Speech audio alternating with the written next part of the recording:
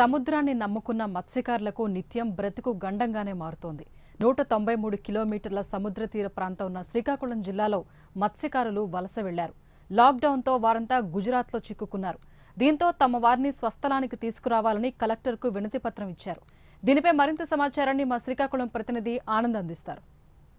తొంభై మూడు కిలోమీటర్ల సుదీర్ఘ సముద్ర తీరం ఉన్నప్పటికీ మత్స్యకారులకు మాత్రం నిత్యం గండంగానే మారుతుంది. అయితే మరో పక్కన వర ఏదైతే తుఫాన్లతో పక్కన బెంగ పెడుతుంటే మరో పక్కన లాక్డౌన్తో మత్స్యకారులు ఇక్కడే చాలా చోట్ల చిక్కునే పరిస్థితి కనిపిస్తుంది. ఏదైతే ఇక్కడ నుంచి వలసలు వెళ్ళి నిత్యం ఇబ్బందులు పడుతున్న పరిస్థితి ఉంది. ఈ- నేపథ్యంలో వాళ్ళని తీసుకొచ్చేందుకు ఇక్కడ ప్రభుత్వం కూడా ప్రత్యేక చర్యలు చేయాలని చేపట్టాలని చెప్పేసి కొంతమంది కూడా ఇక్కడ కలెక్టర్ కార్యాలయం కలడం జరిగింది. దీనికి సంబంధించి ఎలాంటి విధంగా తీసుకురావడానికి ప్రయత్నం ప్రయత్నాలు చేస్తున్నారు అనేది అడిగి తెలుసుకునే ప్రయత్నం చేద్దాం. సార్ ప్రధానంగా మత్స్యకారులు చాలా వరకు వలసలు వెళ్ళి ఇక్కడ చాలా ఇబ్బంది పడే పరిస్థితి కనిపిస్తుంది. మొన్నటి వరకు పాకిస్తాన్లో చాలా వరకు చిక్కున్నారు.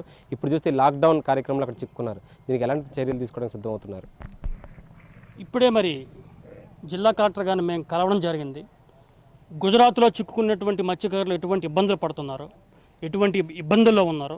వాళ్ళ బాధలన్నీ కూడా మేము వ్యక్తం చేయడం జరిగింది కలెక్టర్ గారికి. అక్కడ వాస్తవ పరిస్థితులు చెప్పడం కూడా జరిగింది. వినతపత్రం కూడా ఇచ్చాం.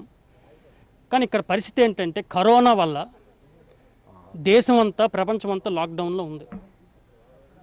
దేశంలో అయితే సరిహద్దులన్నీ కూడా మూసేశారు. మరి ఇందులో భాగంగా తేవడం అనేది చాలా కష్టతరం అవుతుంది.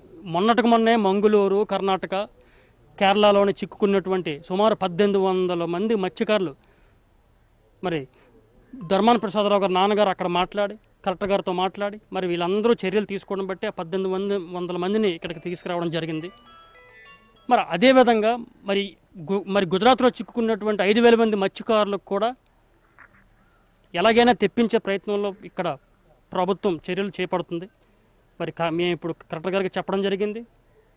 తప్పనిసరిగా వాళ్ళందరికీ తగిన న్యాయం జరుగుతుందని మేము ఆశాభావంతో ఉన్నాం. అంతేకాకుండా అంతేకాకుండా ముందుగా ఇప్పుడు రావడం అనేది ఎంత ముఖ్యమో ఇక్కడికి అంతకంటే ముఖ్యం ఏంటంటే అక్కడ వాళ్ళకి వసతులు మినిమం వసతులు అనేది కల్ క- కల్పించడం అనేది ముఖ్యమైన ఉద్దేశం.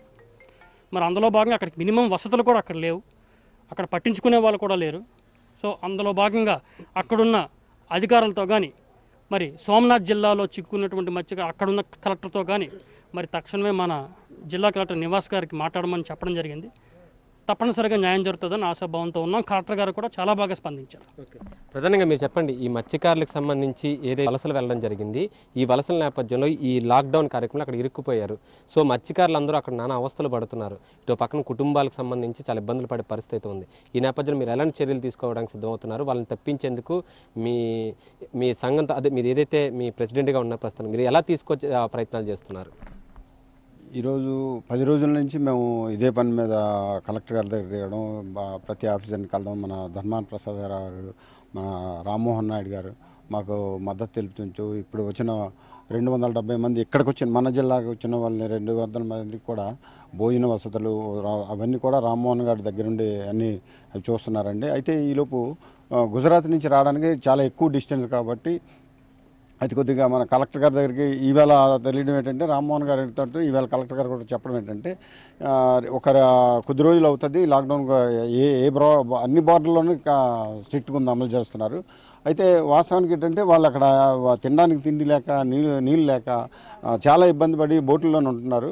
అయితే బయటికి వస్తామనుకుంటే మరి వన్ ఫార్టీ ఫోర్ సెక్షన్ దాని నుంచి బయటికి రావట్లేదు. కాబట్టి ఇప్పుడు కలెక్టర్ గారితో మేము వాళ్ళు పాడుతున్న బా బాధలన్నీ కూడా తెలియజేశాం. వాళ్ళు తప్పకుండా స్పందించి ఇప్పుడు కలెక్టర్ గారు మాట్లాడుతానన్నారు. మాట్లాడి వాళ్ళకి భోజన భోజన సదుపాయాలు మిగతా కార్యక్రమాలన్నీ చేసుకొని ఎప్పుడు లాక్డౌన్ కంప్లీట్ అవుతే అప్పుడు వాళ్ళకి తెచ్చే బాధ్యత మేము తీసుకుంటామని కలెక్టర్ గారు మాకు హామీ ఇచ్చారండి.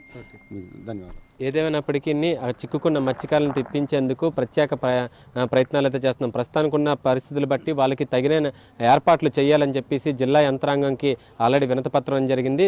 దీనికి సంబంధించి అధికారులు కూడా అనుకూలంగా స్పందించడం జరిగింది. ఏదేమైనప్పటికీ మత్స్యకారులకు మాత్రం దినదిన గండంగానే మారుతుంది. దీని మీద ప్రత్యేక చర్యలు తీసుకోవాలని కొంతమంది ఇక్కడ డిమాండ్ చేస్తున్నారు. ఇది ఇక్కడ తాజా పరిస్థితి. Cameraman సంతూర్తో Anand prime nine news Srikakulam.